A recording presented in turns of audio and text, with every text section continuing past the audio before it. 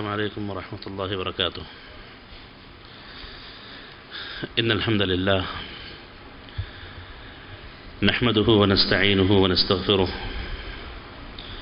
ونعوذ بالله من شرور أنفسنا ومن سيئات أعمالنا. من يهده الله فلا مضل له ومن يضلل فلا هادي له.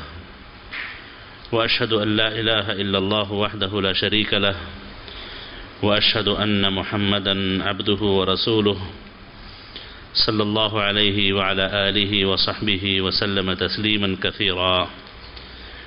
أما بعد. معزز حاضرین کتاب الرقاق کو لے کر کے ایک باب ایک مسئلہ باقی رہ گیا ہے. وہ یہ کہ باب الزجری عن التنافس فی الدنیا، کہ دنیاوی مسائل میں، دنیاوی معلومات میں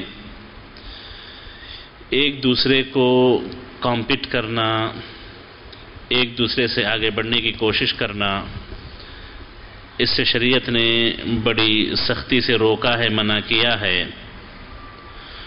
اس سے متعلق مؤلف حفظہ اللہ نے کچھ آیتیں اور کچھ حدیثیں پیش کی ہیں۔ جو آیتیں پیش کی، پہلی آیت سورہ یونس کی ہے، جس کی ترجمانی کچھ ایسے ہے کہ فرمایا اللہ تعالیٰ نے، دنیاوی زندگی کی مثال اس پانی کی ہے جس کو ہم نے آسمان سے نازل کیا ہو۔ پھر اس سے زمین سے پودے اگائے۔ جس کو لوگوں نے، جانوروں نے استعمال کیا۔ لہلہانے لگے، ہرے بھرے ہو گئے، خوبصورت لگنے لگے۔ پھر اس باغ کے مالک یہ سمجھنے لگے کہ اس باغ سے وہ فائدہ اٹھا پائیں گے۔ تو اچانک دن یا رات کے کسی وقت میں ہماری طرف سے حکم ہوا۔ ہم نے اس باغ کو بالکل کٹا کٹایا کر دیا، اس باغ کو ہم نے ہلاک و برباد کر دیا۔ ایسے کہ گویا کل وہ باغ تھا ہی نہیں۔ یہ دنیاوی زندگی کی مثال ہے کہ انسان بہت کچھ سوچتا ہے، سمجھتا ہے کہ اب یہ کر لیں گے، اب وہ کر لیں گے، اب ایسے ہوگا، اب ویسے ہوگا۔ وقت آئے گا، چلا جائے گا، سب کا سب دھرا رہ جائے گا، سب کا سب ویسے ہی رہ جائے گا۔ یہ آیتیں ہیں جو ہم غور و فکر کرنے والوں کے سامنے کھول کھول کے رکھ رہے ہیں تاکہ غور و فکر کریں، سوچیں، اپنی زندگی کی حقیقت کو سمجھنے کی کوشش کریں۔ ایک اور آیت پیش کی سورہ کہف کی، فرمایا اللہ تعالیٰ نے کہ اے نبی، آپ ان کو دنیوی زندگی کی مثال اس پانی سے دیں جس کو ہم نے آسمان سے نازل کیا۔ تو ہوا یہ کہ اس پانی کی بدولت زمین سے ہریالیاں، پودے، کھیتیاں، درخت اگائے۔ پھر کہتے ہیں کہ اچانک سب کے سب جل گئے، ختم ہو گئے، ہوائیں آ کر کے سب کو اڑا لے گئیں۔ جو کل تک لہلہا رہے تھے، آج کچھ نہیں ہے۔ جو کل تک بڑے خوبصورت لگ رہے تھے، آج وہ نہیں رہے۔ آج پوری کھیتیاں اجڑ گئیں۔ پورے باغ اجڑ گئے۔ اور یاد رکھو، اللہ تعالیٰ ہر چیز پہ پوری پوری قدرت رکھتا ہے۔ تو یہ مال، یہ اولاد، یہ دنیاوی زندگی کی بس زینت کا نام ہے اور کچھ نہیں ہے۔ اور باقی جو رہ جانے والی نیکیاں ہیں، وہی حقیقت میں آپ کے رب کے پاس ثواب کے اعتبار سے بڑی بہتر ہیں اور اسی سے امید کوئی بندہ لگائے رکھ سکتا ہے۔ تو اس میں بھی اللہ تعالیٰ نے مثال پیش کی کہ دیکھو جو کھیتیاں تمہارے پاس ہیں، اچانک کوئی بیماری آ جائے، کوئی طوفان آ جائے تیز بارشیں آ جائیں، جس کھیتی سے تمہیں فائدے کی امید ہوتی ہے، وہ کھیتی تمہارے لیے بس ایک بوجھ بن جاتی ہے۔ وہ باغ تمہارے لیے ایک بوجھ بن جاتے ہیں۔ تو بالکل زندگی کی وہی مثال ہے کہ زندگی میں آپ نے بہت کچھ سوچ کر کے رکھا۔ ملک الموت آئے، روح قبض کر لی، سب کا سب ویسے ہی رہ گیا۔ کوئی فائدہ نہ اٹھا سکے۔ ایک اور مثال سورہ حدید کی یہاں پر پیش کی گئی کہ یاد رکھو دنیاوی زندگی کھیل کود کا سامان ہے، زینت ہے، آزمائش ہے، آرائش ہے، آسائش ہے۔ اور کہا، یہ کیا ہے دنیاوی زندگی؟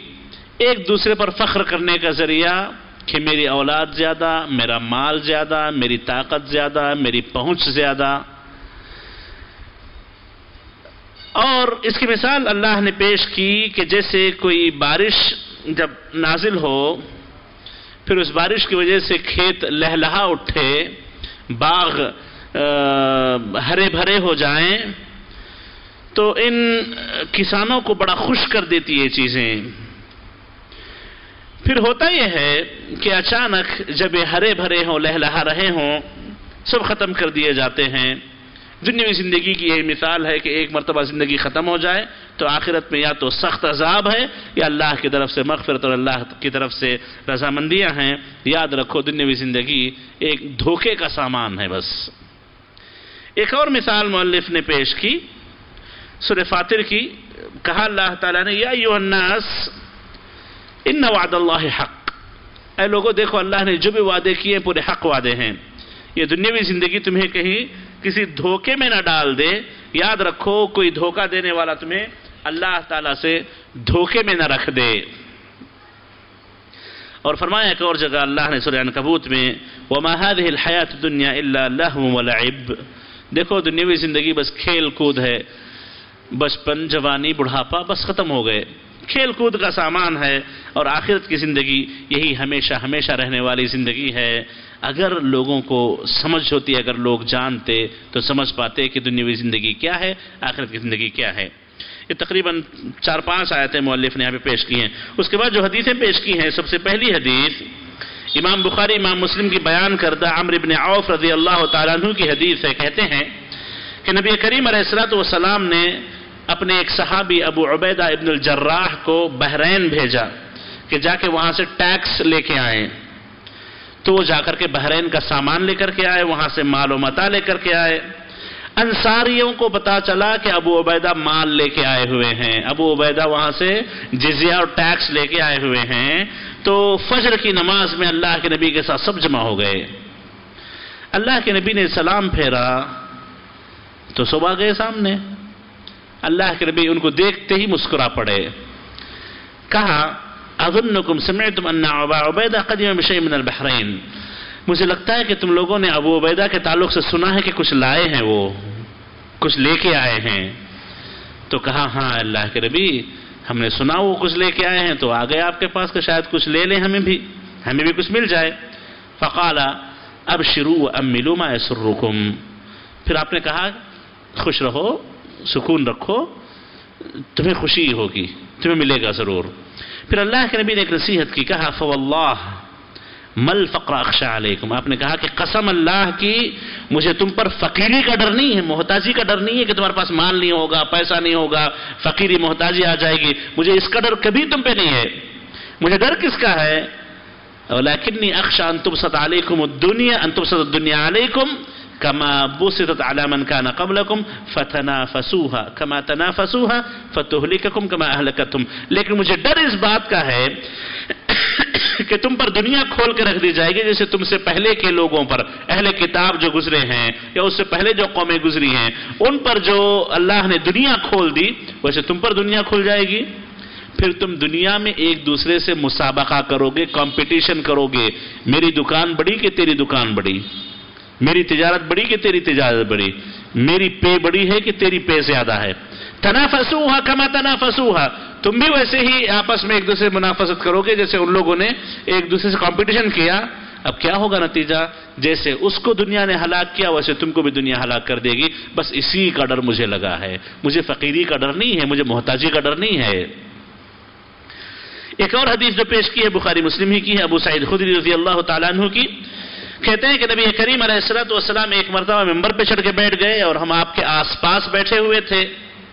آپ نے کہا، ان مما خاف علیکم من بعدی ما یفتح علیکم من زہرت الدنیا وزینتها آپ نے نصیحت کرتے ہوئے کہا کہ دیکھو، مجھے سب سے زیادہ ڈر جس بات کا لگا ہے وہ یہ ہے کہ تم پر دنیا کی رنگینیاں، دنیا کی زینتیں، دنیا کا مال و سامان کھول کے رکھ دیا جائے گا۔ دنیا آ کے تمہارے قدموں میں پڑ جائے گی، مجھے اس کا بہت ڈر لگا ہے۔ مجھے اس کا بہت ڈر لگا ہوا ہے۔ اور وہی صحابی کہتے ہیں، ایک اور روایت صحیح مسلم کی، نبی کریم علیہ السلام والسلام نے فرمایا، ان دنیا حلوت خضرہ یاد رکھو، دنیا بڑی میٹھی ہے۔ چکھو گے تو بہت میٹھی لگے گی۔ دیکھو گے تو دل کو بہت لبھائے گی، بڑی ہری بھری لگے گی۔ حلوت خضرہ، میٹھی بھی ہے، ہری بھری بھی ہے۔ وہ ان اللہ مستخلف فِيهَا۔ دیکھو، اللہ تم کو ایک کے بعد ایک ایک کے بعد ایک خلیفہ بناتے جا رہا ہے۔ پچھلی قومیں آئیں، وہ ہلاک ہوئی ایک اور قوم آئی قوم آئی، وہ چلی گئی، پھر اور آیا۔ تم آئے ہو، تمہارے بعد بھی لوگ آتے رہیں گے۔ یہ سلسلہ چلتا رہے گا۔ یہ سلسلہ چلتا رہے گا۔ فَيَنْظُرَ كَيْفَ تَعْمَلُونَ۔ اب اللہ دیکھنا چاہتا ہے کہ تم کیا کرتے ہو۔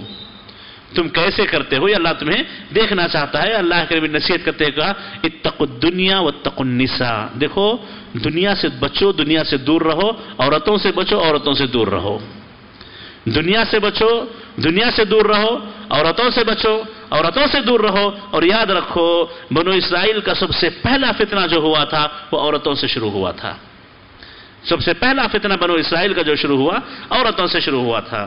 عورتوں میں، عورتوں کے مسائل میں مرد جا کر کے پھنس گئے، فتنے شروع ہو گئے۔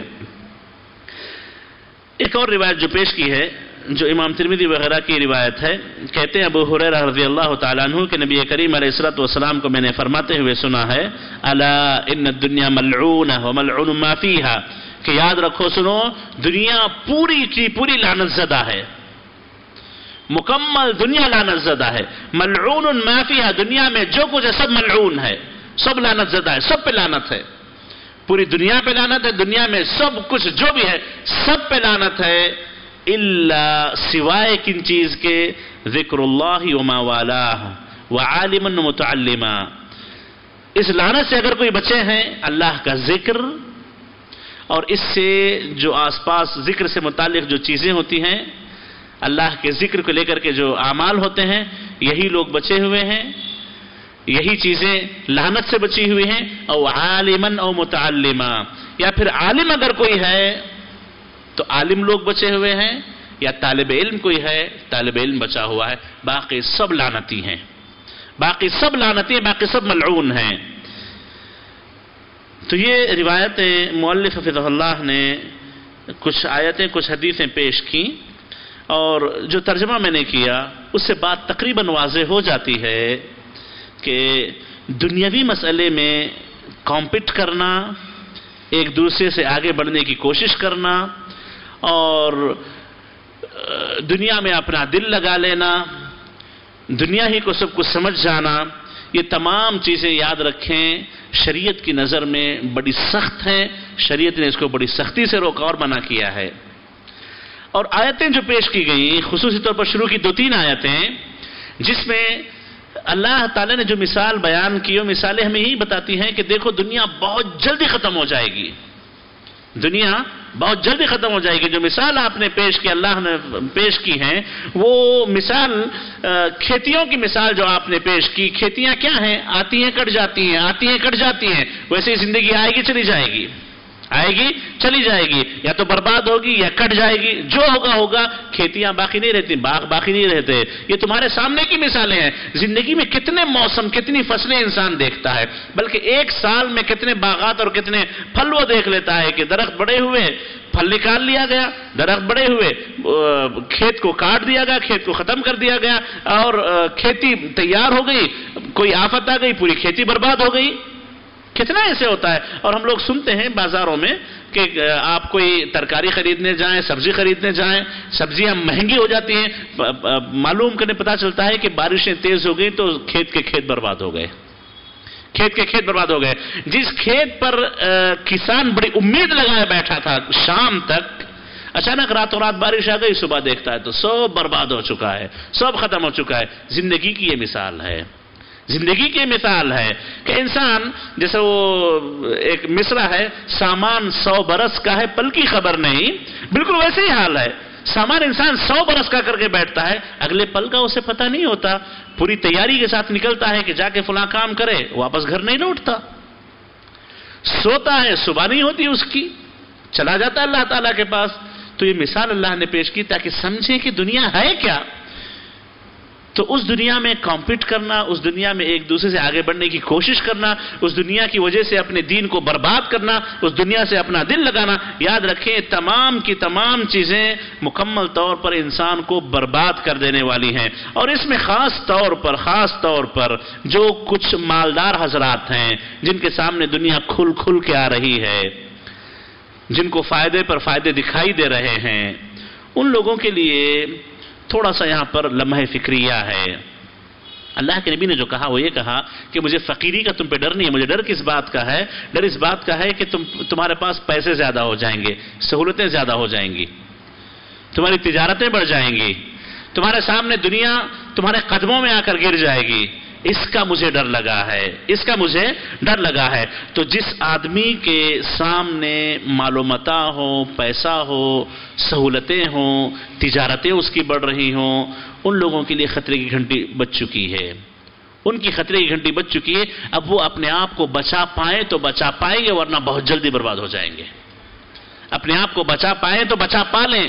ورنہ وہ بہت جلدی برباد ہو جائیں گے۔ کیونکہ نبی کریم علیہ السلام نے اسی دنیاوی رنگینیوں کا، اسی دنیا کے فتنوں کا تذکرہ کرتے ہوئے کہا کہ مجھے ڈر اس کا لگا ہوا ہے۔ مجھے ڈر اس کا لگا ہوا ہے۔ تو انسان کو اس دنیاوی معلومات کو دیکھ کر کے اطمینان کی سانس نہیں لینی چاہیے۔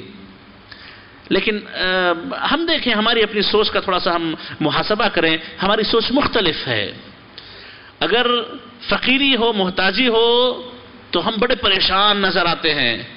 وہی تھوڑی سی مالداری آ جائے تو سکون اطمینان کی سانس ہم لیتے ہیں۔ جبکہ مسئلہ الٹا ہونا چاہیے۔ جب پیسہ آ جائے تو انسان فکر مند ہو جائے کہ اس کا جواب اللہ کو کیسے دے۔ اسے خرچ کہاں پہ کرے؟ اس نے کہاں سے کمایا؟ جب تک اللہ کو جواب نہ دے، اللہ کے سامنے سے ہٹ نہیں پائے گا۔ فقیر محتاج ہوگا تو کہے گا کہ اے اللہ، حساب و کتاب میں کیا دوں؟ کچھ تھا ہی نہیں تو میں کیا اللہ تیرے سامنے حساب پیش کروں؟ اور اس کے مقابلے پیسہ ہو تو حساب و کتاب زیادہ ہوتا ہے۔ حساب و کتاب کی پکڑ ہوتی ہے اور مالدار لوگ، ان کے مقابلے غریب لوگ بہت جلدی جنت میں چلے جائیں گے۔ مالدار حساب کتاب میں لگے ہوں گے، غریب لوگوں کو اللہ جنت بھیج دے گا۔ تو اس حدیث سے یہ پتا چلتا ہے کہ انسان جب اس کے سامنے نعمتیں کھل کھل کے آنے لگیں، اس کی سیلری ہائک ہونے لگے، اس کی تجارت بڑھنے لگے، ایک سے دو دکان بننے لگے، یا پھر جو بھی ترقی اس کی دنیا میں ہونے لگے، تھوڑا سا وہ ٹھٹ کے یہاں پہ، تھوڑا سا روکے اپنے آپ کو، روکے، روک کر کے سوچے کہ کہیں کسی فتنے کا تو شکار نہیں ہو جائے گا آگے بڑھ کر کے وہ۔ کہیں کوئی فتنہ تو آنے والا نہیں ہے اس کی زندگی میں۔ کہیں یہ مال اس کے لیے فتنہ تو نہیں ہے۔ اطمینان کی سانس نہ لے، فکر مند رہے کہ اس مال کو جو اللہ نے اسے دیا ہے، کیسے اللہ کے راستے میں لگائے، اس کو کیسے، اس کے فتنے سے کیسے اپنے آپ کو بچا سکے۔ اور آج کل جو ہوا ہے ایک اور چیز جو حرس حرس لالچ مزید اور اور اور کی تمنائیں جو دلوں میں پلتی ہیں۔ جیسے انسان دن میں کھا پی لے، کھانے پینے کا سامان ہو، سیلری آتی ہو، مہینہ گزر جاتا ہو، اطمینان سے رہتا ہو، وہی کافی ہے اس کے لیے۔ جب پیسہ کچھ سیونگز ہو جاتے ہیں نا، اب سیونگز کو بنانے کی فکر لگتی ہے اسے کہ اس کو کیسے بڑھائیں۔ لوگوں نے پیسے لگائے بہت اور ہمارا بینگلور بلکہ پورا انڈیا پورے دنیا میں کئی جگہ واقعات ہوئے ہیں، لیکن حالیہ واقعات جو ایک کے بعد دوسرا، دوسرے کے بعد تیسرا، تیسرے کے بعد چوتھا، جو مسلسل واقعات انویسٹمنٹ کمپنیز کے، لوگوں کے لوگوں کے دھوکوں کے جو ہوئے ہیں، یہ ایک بڑی مثال ہے ہمارے لیے اس قسم کی حدیثوں میں کہ مجھے ڈر تم پہ لگا ہے دنیا کے کھل جانے کا۔ دنیا کھل گئی، لاکھ، دو لاکھ آ گئے، لے جا کے لگا دیے۔ ہرس کی خاطر یا پھر ہرس کی خاطر مزید دنیا اور پانے کے لیے اس سے اور بہتر رہنے کرنے کے لیے، اس سے بہتر گاڑی کے لیے، اس سے بہتر گھر کے لیے۔ لوگوں نے کیا کیا؟ اپنی جمع پونجیاں اٹھا کر کے لگا دی۔ ہرس تھی، یا بعض لوگوں کی ضرورت ہو سکتی ہو، ضرورت تھی ہوگی، لیکن یہ ہرس نے لوگوں کے ساتھ وہ سلوک کیا کہ لوگ بڑے پریشان نظر آتے ہیں۔ آج کل کے حالات ہم جانتے ہیں، جو ان دنوں ہوئے ہیں۔ تو معذر حاضرین، پیسہ آ جائے تو انسان فکر مند ہو، سکون کی سانس نہ لے، کیونکہ یہ فتنہ کہیں اس کے لیے نہ ہو۔ کہیں فتنے کا دروازہ کھل نہ رہا ہو۔ اور اسی طریقے سے اس میں یہ بھی سمجھنا چاہیے کہ دنیا میں آپ کمپٹیشن کریں گے، ایک دوسرے سے آگے بڑھنے کی کوشش کریں گے، تو یاد رکھیں یہ انسان کی دنیا اور دین دونوں کو برباد کرنے کا ذریعہ بنتا ہے۔ وہی آپ کمپٹیشن دینی معاملات میں کریں، طلب علم میں کریں وہی آپ کمپٹیشن خیر کے کاموں میں کریں، دنیا کمانے میں، دنیا کے پیچھے پڑنے میں آپ کمپٹیشن دوسرے سے کریں گے کہ میری سیلری اس سے بہتر ہونی چاہیے، میری گاڑی اس سے بہتر ہونی چاہیے، میرا گھر اس سے بڑا ہونا چاہیے، میرے بات اس سے بڑھ کر میرا پوسٹ اس سے بڑھ کر ہونا چاہیے، یہ دنیا کے مسابقے میں، دنیا کے منافست میں اور دنیا کی بھاگ دوڑ میں اپنے آپ کو جو لگائے گا، سمجھے قریب ہے کہ اس کی دنیا اور آخرت دونوں برباد ہو سکتے ہیں۔ دنیا آخرت دونوں برباد ہو سکتے ہیں، کیونکہ کیا ہوتا ہے، اس میں عام طور پر جتنے فتنے ہوتے ہیں، اسی مال سے ہوتے ہیں۔ جیسے اللہ کے نبی صلی اللہ علیہ وسلم نے کہا کہ ہر امت کا ایک فتنہ ضرور ہے، اس امت کا فتنہ مال ہے۔ ہر امت میں اللہ نے کچھ فتنے رکھے ہیں۔ اس امت کا فتنہ اللہ تعالیٰ نے مال رکھا ہے۔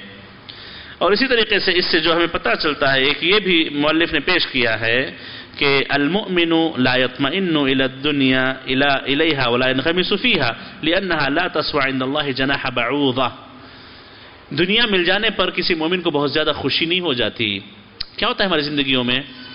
کچھ نفع وفا آ جائے تو بڑے خوش ہو جاتے ہیں۔ نقصان ہو جائے تو بڑے افسوس میں جیسے دنیا لٹ گئی ہو۔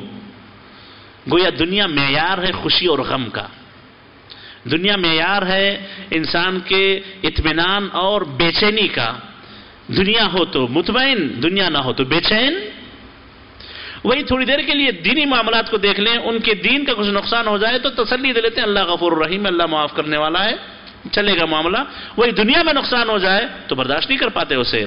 تو کہتے ہیں کہ مومن کبھی دنیا کی وجہ سے اطمینان حاصل نہیں کرتا ہے اور دنیا میں داخل نہیں ہوتا، اپنے آپ کو بہت زیادہ مشغول نہیں کرتا ہے دنیا میں، کیونکہ اسے پتا ہے کہ اللہ تعالیٰ کے نزدیک دنیا کی کوئی حیثیت نہیں ہے، دنیا کا کوئی مقام نہیں ہے، بلکہ اللہ تعالیٰ کے نزدیک ایک مکھی کے پر کے برابر بھی پوری دنیا نہیں ہے۔ یہ پوری دنیا جتنی نعمتیں ہیں، جتنا مال و دولت ہے جتنا سونا ہے، جتنے خزانے ہیں، سب ملا کر کے شروع سے لے کر اخیر تک، آدم علیہ السلام کے زمانے سے لے کر قیامت تک جتنا مال آئے گا، سب ملا کر کے اللہ کے نزدیک ایک مکھی کے پر کی برابری نہیں کرتا۔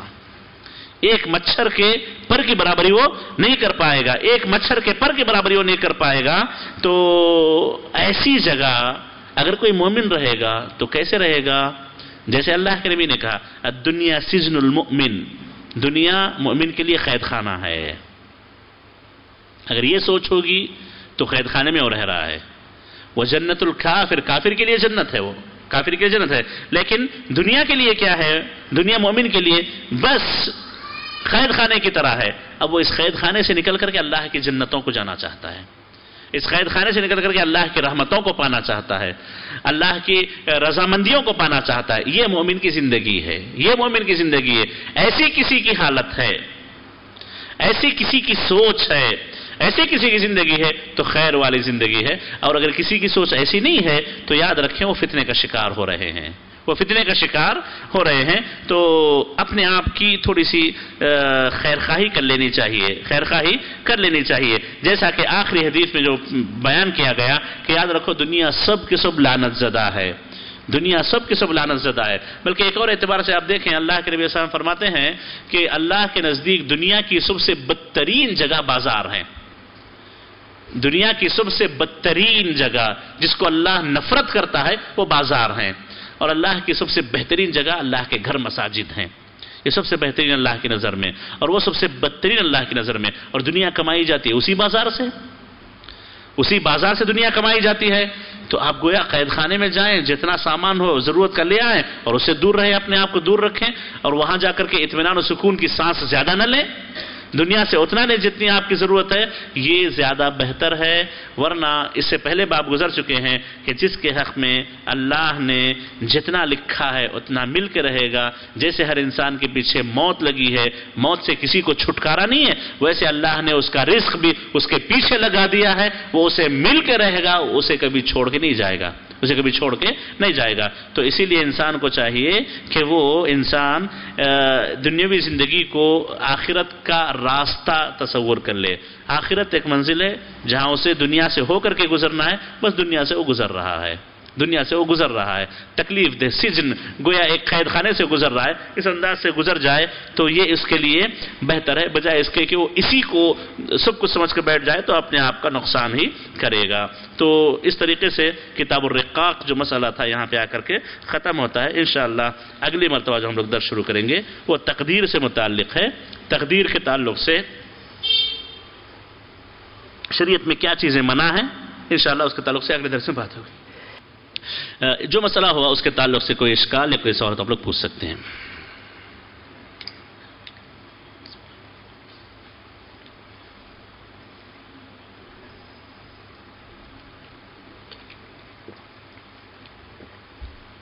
ختم کر لیں مجلس۔ سبحانك اللهم وبحمدك أشهد أن لا إله إلا أنت أستغفرك وأتوب إليك وصلى الله وسلم على نبينا محمد وآله وصحبه أجمعين والسلام عليكم ورحمة الله وبركاته